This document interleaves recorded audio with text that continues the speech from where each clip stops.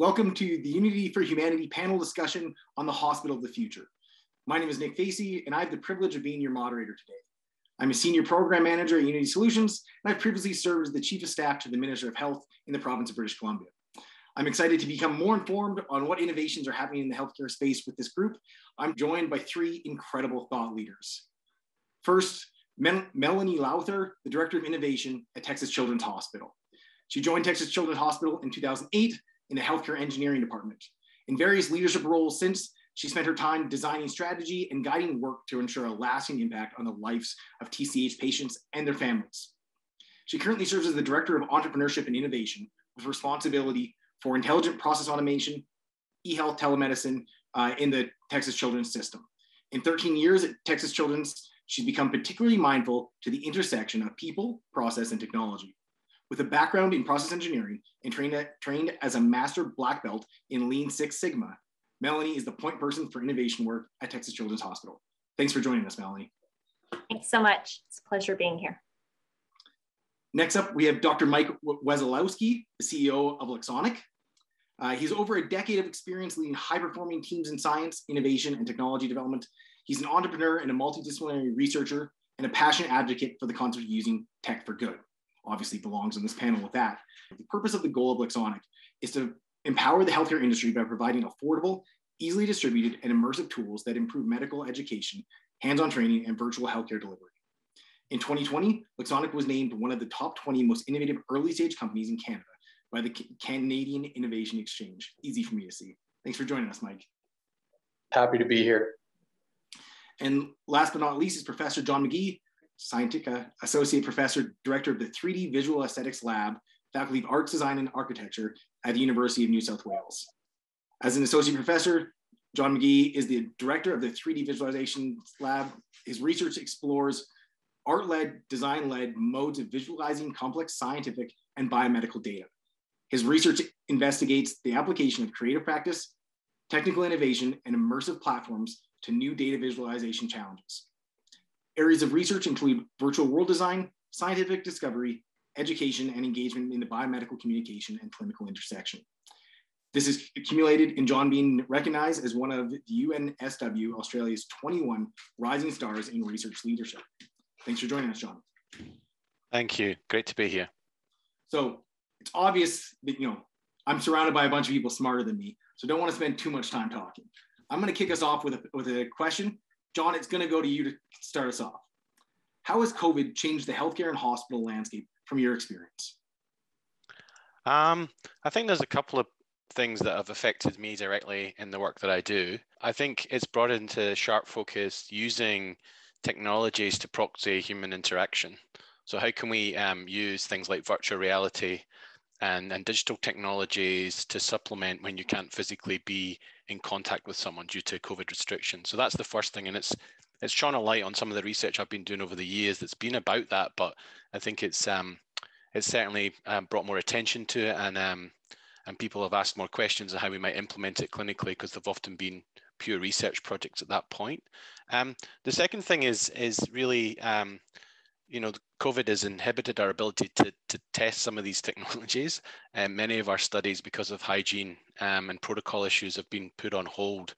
Um, so we were, we're currently doing a random control trial of um, a tool which helps uh, patients manage their pain um, using virtual reality and, and training a little avatar dog um, and taking them on various trials. And just because of the protocols and, and, and restrictions of COVID, that's really hampered our ability to test that stuff. So it's a sort of double-edged sword, um, but it's certainly um, bringing into focus and allowing us to, to really showcase how immersion and interaction using digital technologies could actually replace or, or, or supplement um, human contact, which is unable to be done because of COVID. Yeah, John, that's a really interesting point. The, you know, you said the double-edged sword of uh, COVID. I, have seen it myself. The, there's some some really new drivers to solutions that real-time 3D can be a solution for that COVID has made you know more needed. And at the same time, there's all the the downsides of trying still trying to get work done and still trying to work together, or in your case, uh, run research labs in the COVID environment. Yes. You know, if I could add to that, I think that from a user perspective, we've kind of built in now because of COVID a like a forced familiarity with technology that wasn't really there before. And so I feel like the foundation of what is maybe an acceptable norm has really elevated during this time as well. And so it allows us to be, you know, a little more innovative and, and push the envelope a, a bit, a bit more. And awesome, Melanie, is there something at the hospital where you've seen that changing landscape with COVID and technology? Yes, uh, one of the probably best examples of that is with e-health and telemedicine, telehealth in general. Prior to COVID 19, we were really just kind of dabbling in it. It was uh, a couple of select subspecialties. They would see patients who are at rural um, community provider offices, and they would be able to uh, have a telemedicine visit in that manner only.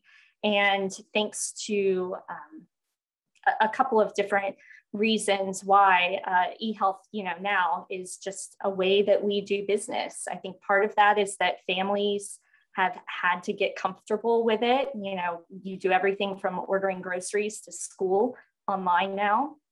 Our providers really jumped in with both feet. And then also the, the regulatory uh, posture has changed quite a bit and has allowed us to expand what we're able to offer with e-health and telemedicine. But had the COVID 19 uh, pandemic happened, we probably would not be where we are today. It would have taken years. So it accelerated some of the adoption of these technologies. Absolutely.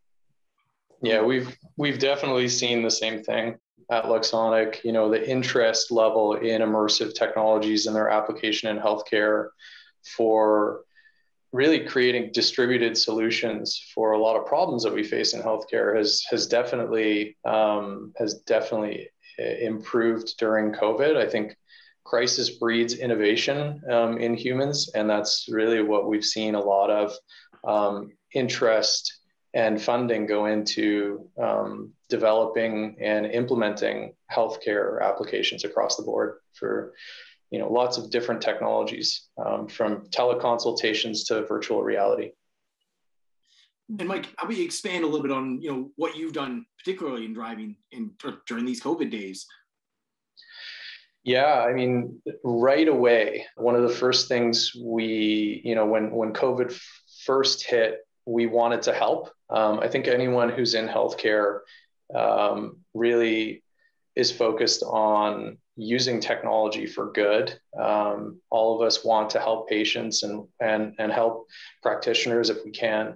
So, one of the first things that we did um, is to work with paramedics in the province of Saskatchewan to develop out 360 uh, video training applications for donning and doffing of um, uh, protective equipment and training for how to uh, properly um, secure samples, uh, COVID samples. Um, so that was something we did right away. Um, and then in the background, all of the work that we've been doing over the past several years in um, uh, using immersive technologies for not just training and education, but also for actual healthcare delivery and radiology um, that's uh, that's picked up quite a bit as well. So COVID disrupted a lot of workflows in healthcare, and a lot of radiology workflow actually happens within their office. Um, and they couldn't be in their office, they couldn't be together. And what we've been creating actually over the past several years is a virtual version or a digital analog of that office. And they were, you know, radiologists are able to use that to um, work in a way collaboratively with their colleagues that's very similar to doing that in, in the physical world. That's super interesting. And it kind of leads right into my ne- next question, Mike. Like, where do you see real time 3D having the greatest advancement in either care or outcomes? Well, I think the, the, the big power of uh, immersive technologies is the feeling of presence, right? And we lose that a little bit when we're all isolated. Um, being present and being able to collaborate with um, our colleagues in settings that are familiar, but doing it virtually, uh, I think has a has a whole lot of power. Um, and that's what you know the other real benefit of this technology is being able to distribute it widely um, and then connect people together. Very cool. Melanie, it, it, seems like your experience will lead right into that answer. Where have you seen some some advancements of care and outcomes?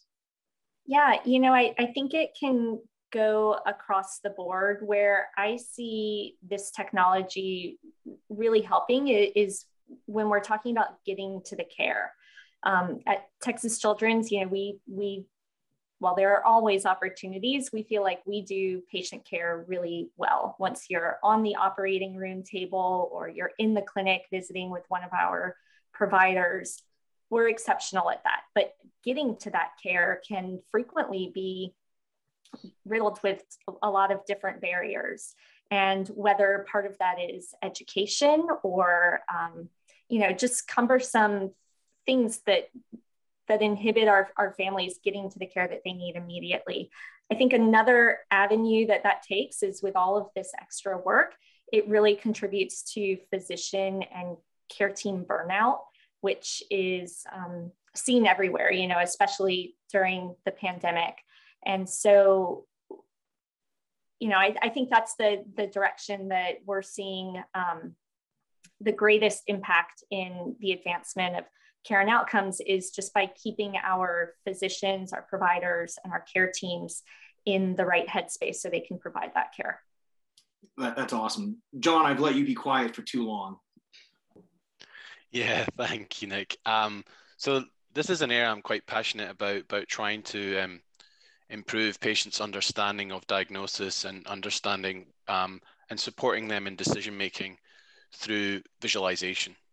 Um, and it's certainly clear, and, and as, as imaging modalities continue to improve, you know, we've got continual increased fidelity of, of various disease processes and diagnosis through radiology, for instance, and those modalities like CT, MRI. Um, but obviously, these images are not designed to be shown to patients necessarily. They're for diagnosis or for writing reports for clinical specialists. Um, however, they're often used as props. And I think digital technologies and immersive technologies could potentially support and help them make sense of the patient make sense of that um, those images, um, particularly using 3D visualization. Um, and certainly the work that, that we've done um, at St. Vincent's Hospital here in Sydney in Australia is looking at um, how we might visualize these in more um, design-led ways and using immersive technologies to support them and understand why and what a stroke is and how it's happening using their actual data but there's an, another aspect to it when you use these digital technologies is also um, building the narrative and the story around how people make sense of that that data because the raw data itself can become meaningless unless it's built into a narrative. So I think um, you know immersive technologies, real-time technologies that are available now and more democratized can certainly enhance that interaction and that sense making of of people when they make sense of their disease, they make sense of and try to make a decision and then move forward with with with their clinical professional. I think that's really well said, uh, and it it struck my own memory. I recently broke a bone playing hockey because you know, I'm Canadian, and uh, the doctor showed me on a on a on the X-ray, and he had to point out where the bone was broken on the X-ray to me, and I was like, guess I have to believe him that it's broken there because to me it doesn't didn't mean anything at all. Melanie, what have you seen yeah. on that right from the hospital floor? It reminds me of a personal story, but one that any anyone can really relate to. So at a children's hospital, I think one of the things that sets you apart is uh, the role of a child life specialist. And for those of you that don't know what they are, they are healthcare professionals. They help children and their families, siblings, anyone who's involved with them just kind of navigate that process of illness, injury, disability, trauma, hospitalization, whatever it is. And so, how that relates to us, we, my child had to have an MRI a, a little while ago. And I recall going in and trying to explain to my eight year old uh, what was going to happen in the MRI. Luckily, we have an amazing group of child life specialists at Texas Children's, and they have a lot of tools available to them to help prepare families for these experiences. And they showed him a video, they had some sounds that he could listen to. He saw pictures, you know, regular Polaroid pictures. And I couldn't help but think, gosh, we could do so much more if we had real time 3D imaging. You know, if we could allow him to navigate on his own to see what it would be like to be in the MRI machine and to hear the sounds while he sees what's going on and to really be able to take that exploration into his own hands. So, you know, my personal example, but I think it's relatable not just with MRIs uh, and certainly not with pediatrics. Anytime we have that opportunity to explore on our own and feel a sense of control improves our outcomes. Yeah, I love that, Melanie. So we, we have John talking about improve the ability to use real-time 3D to improve understanding. Melanie, you're talking about the you remove the novelty, understand the process of what's going on. And Mike, I think you're about to talk to us about using real-time 3D to enable collaboration, right? Well, yeah, but before that, you know, Melanie, I'm smiling here because we we actually worked with a child life specialist at the Children's Hospital here um, to build a pediatric MRI uh, simulator for preparation for MRI scans. So exactly that, using 360 video um, and being able to go through the exact process from start to finish. And we end off with the, the pediatric patient as part of you know a larger preparation program, but the ped going into the MRI and hearing the sights and sounds. But they they get prepared for that procedure, and we've you know there's been lots of research that shows if we can prepare you know patients for procedures beforehand anxiety goes down patient outcomes can improve. So i think um, that's uh, it, it's yeah i think we all have very similar stories here. Um, and and i think being able again to distribute these technologies widely um, and being able to then you know couple um, these our understanding of clinical workflows with um, you know the collaborative aspect of these technologies i think has a, a lot of real power um, especially you know bridging that gap between the urban and rural divide um, for healthcare. Yeah, which is an incredible challenge. I, I grew up on northern vancouver island. Just having enough doctors for the population is a real challenge. Is that an area that you guys three have seen some some progress in? Melanie i think you mentioned telehealth Yes, absolutely. So, telehealth, as you can imagine, allows our organization and so many others to really expand their reach into the more rural or lesser populated areas. You know, one thing that we are struggling with, just like schools, is the accessibility of uh, Wi Fi or other broadband uh, services. And so, you know, we're working diligently with our local legislature as well as high tech companies who can help fill those gaps. Uh, but it's certainly an area that we would love to see shored up so that um, everyone can benefit from the care. And John, have you seen some adoption or some challenges there? Yeah, I mean, just to, to add to what's been discussed, I think it's building on what Nick, uh, what Mike was saying around um, the distribution and collaborative component. And I'd say there's another part that's a real buzz just now, which is kind of about building community and interaction using multiplayer experiences. So how can we bring lots of people around to to talk in a group in immersive technologies around healthcare challenges? And there's a project that we're working on at the moment um, with uh, with young people and, and adolescents, looking at how who who receiving um, chemo treatment or um, cancer treatment who have to isolate because they're immunocompromised. And they, they're using Zoom at the moment to interact, but we want to explore how we could use multiplayer um, gaming environments for them to talk and interact and, and, and talk to one another. And it, it's interesting because this was an issue before COVID and now um, this isn't you know it's been amplified with covid because um, lots of people are kind of isolated and want to interact. But the, th- the third part of that is in a safe place so how can we interact collectively? They don't want to be in an open world where they're with lots of other people. They want to be with other people that they feel safe with. So how do we design those environments is really, really interesting. Yeah, I think there's a, a lot of adjacencies to just how new diagnoses of, of patients, especially with rare, rare diagnoses, and not having a built-in peer group, you know, not knowing what's going to happen and having the opportunity to interact with people around your same age who are going through the same things um, when it feels just completely foreign from um, your regular life. So I love that idea of community. Yeah, that's that's very cool. Uh, you know, so we've we've got the the connecting ability of technology really coming through and the benefits in the healthcare space. Um, where else do you see the innovations coming from? And Melanie, let's start with you.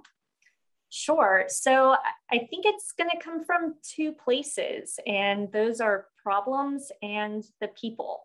So, you know, I, I love technology. We're, I'm in innovation. We deal with it all the time. It's super fun, but we really have to start with what problem are we trying to solve? And, you know, healthcare in general has a lot of different problems to solve, whether it's um, the whole care of the patient, not just treating what's right in front of them, but really thinking about behavioral and mental health and how do we care for someone's entire being um, to very customized and, and precise care. We also had an opportunity to host a hackathon a couple of months ago for the Hospital of the Future. And we had one segment that was specific for our uh, younger than 18 participants. And I was amazed at how many seven, eight, nine year olds created videos, animations of what they thought, you know, healthcare of the future would look like. And in every single one of those, they were directing their care. They were they were part of the care team. I feel like, you know, especially with younger uh, patients, care really happens at them. Uh, you know, the, it's more of the families and their caretakers and the providers talking to each other, making decisions, and then the care happens to them. But in all of these videos, they were active participants and really making decisions for themselves. And so I think, you know, from an external viewpoint, it's talking to our patients, it's talking to their families, understanding their pain points and what problems we can solve for them, and then doing the same internally uh, with our care teams and uh, back of house people who are supporting the organization. You know, how can we prevent burnout and really make their work easier so they can provide the best care possible? Melanie, there must be a couple of clones of you because the, the number of topics that you're able to cover, it's absolutely. I will know. Thank you. Mike, any thoughts on where do you see some innovation in the healthcare space coming from?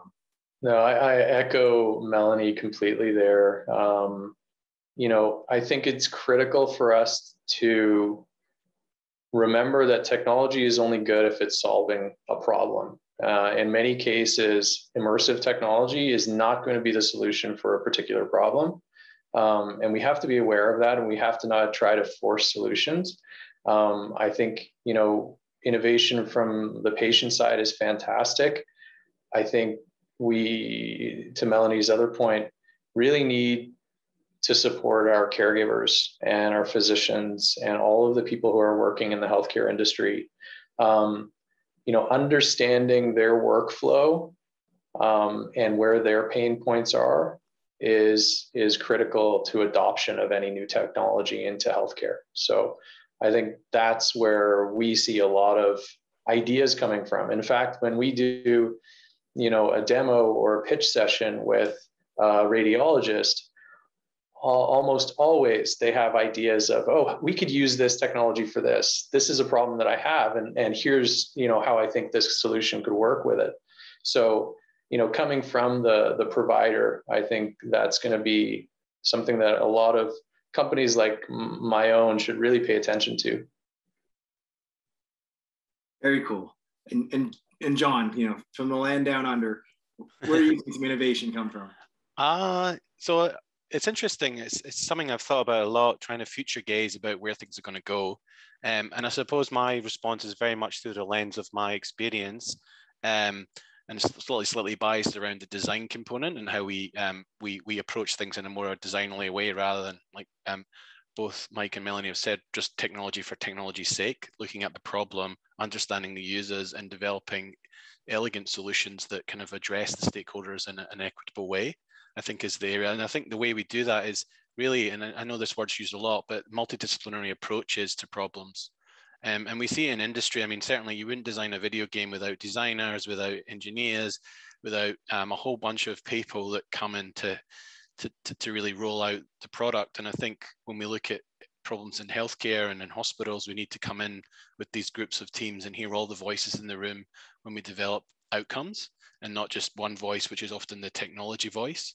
Um, and I think so. I think that's where a lot of the real, you know, innovation will come. And I think also this crossover notion where we can look. We've got massive acceleration in, in gaming, um, you know, with the, the metaverse and, and, and lots of other things happening and that are very exciting and will change the way humanity moves in certain areas um, and how we consume. And so I think looking at those areas and looking at technologies that are accelerating and approaches that are accelerating and think, well, actually, how can we use this in health? How can this benefit in health? Um, and bringing some of those people over to get their opinions and their viewpoints and their voices in this roundtable approach. I think that's where the innovation is going to come. So I, I can't put a pin in the map and say it'll come into this particular one area. I think it will be a movement approach with lots of voices. Very, very cool. Well, John, you've actually kind of spurred me onto a third question on here, which is I think we see somehow, uh, you know, the opportunity that COVID has created uh, for te- technology to improve the healthcare delivery against those challenges. There's also the kind of the sometimes considered toxic gaming environment that kids are playing in now. Do you think healthcare could help bring some humanity to this uh, technology-enabled interactions? Um, yeah, that's a big question. um, I think, I think, as I said earlier, I think, um, you know, like many industries, there's positives and there's negatives, and there's things that we can take that really can benefit, and it should be a two-way dialogue. So, absolutely, I think there's things that we learn in healthcare and, and in our research work that could cross-fertilize gaming, and I think vice versa. There's things that are going on in the gaming industry and the way we design games and, and work with users. Um, that could benefit. So I think it's just creating more dialogue, um, less silo based approach. Cool. Mike, what have you seen on that front? Yeah, you know, I, I would say the big power of immersive technologies, or one of them, is the ability to to build empathy and equity. Right? You know, when you walk, when you can walk in the shoes, almost literally, of a cancer patient or you know a, a pediatric patient or someone um, you know, who may be disadvantaged. Um, I think that can build empathy in people, and um, that's one way that we could use immersive technologies maybe to to shift the needle um, away from those toxic environments if if done properly. I love it, and and Melanie, you know, at the Children's Hospital, have you have you seen some of that? Yeah, well, I, I love uh, Mike's answer, and building empathy, I think, is just a really important element of you know having a healthy and functioning community. As far as in pediatric healthcare, you know, gaming, gamification, it's here. It's here. You know, telling kids not to play video games, we're not doing much there, and so I, I, think this idea of adopting what works best, as John was saying, and applying it to our world really makes a lot of sense. Uh, we have been investing quite a bit in uh, gaming and gamification, just kind of at the bare minimum, the idea of tracking and rewarding. Um, we're dabbling in you know building our own virtual reality video game to improve outcomes so I, I, think there's a lot there. I know we aren't the only ones interested in it.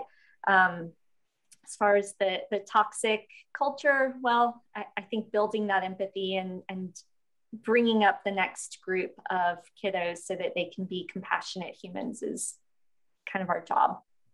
I, I, love it, Melanie. And I think that's a, a, great positive point to end on. So thanks to our, our three panelists today. Uh, really informative discussion. You know, we covered how COVID has kind of changed the healthcare industry. That shift is probably going to remain forever. But we have a equally on the other side of the sword, uh, the positive and, and, beneficial role that innovation and real-time 3D technology is going to play in the development of healthcare and hospitals in the future. So thanks for you guys for your time, and I hope uh, anyone watching enjoyed the discussion. Thank you so much. Pleasure to be Thank here. You. Thanks, Nick.